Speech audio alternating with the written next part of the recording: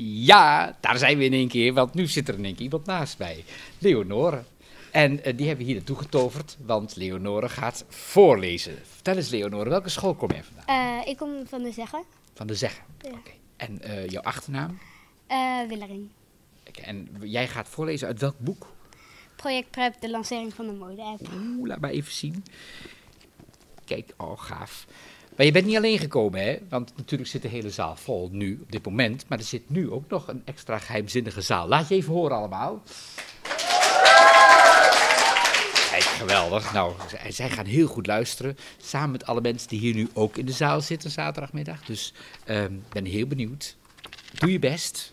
Lees lekker voor en geniet er vooral van. Ja. Ja? We worden straks om de beurt gevraagd binnen te komen.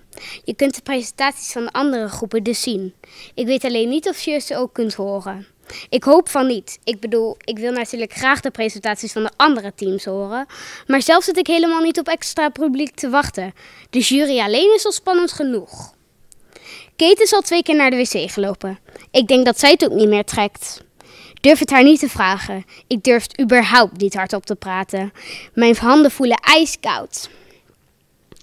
Half vier. Ik probeer mijn tekst voor de presentatie uit mijn hoofd op te dreunen. Alle zinnen kwijt. Mijn gedachten worden steeds waziger. Het derde team is net gearriveerd. Twee meisjes en een jongen van een jaar of zestien. Vooral die meisjes komen nogal zelfverzekerd over.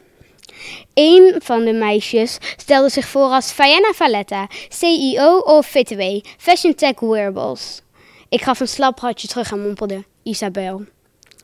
Waarom heb ik niet gezegd, I'm Isabel, the founder of the booming project Prep App. Eat your heart out. Kwart voor vier. De eerste groep is nu binnen. Het zijn de baardmannen. Voordat ze naar binnen gingen, kregen we allemaal een hand van de jury. De voorzitter werkt bij Apple.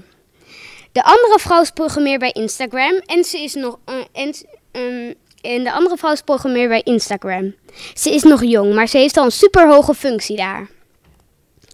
De man stelde zich voor als de marketingdirecteur van Prada. De deur is dicht. Mijn hartkloppingen zijn vast zo luid dat iedereen het kan horen. Hou je kop hard. Tien voor vier. Diep adem gehaald. Ik laat me dus echt niet intimideren door een paar titels. We zijn hier gekomen om te winnen. Ik loop straks met gestrekt rug die kamer binnen en begin vol zelfvertrouwen aan mijn introductie. Vervolgens ge- vol gas voor een kick-ass presentatie. Ik heb me niet helemaal de blubbers gewerkt om af te gaan als een gieter. Zeker niet door de zenuwen. Vier uur. We mogen naar binnen. Tien over half vijf. Op de wc. Gosh, ik ga dood. Na mijn presentatie direct de wc ingerend en achter een gesloten deur vijf minuten staan springen. Mijn hele lichaam giert nog van adrenaline.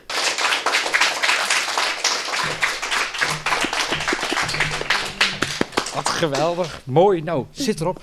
Ah, Even diep zucht. Ah, ja. Ja. Hoe vond je het gaan?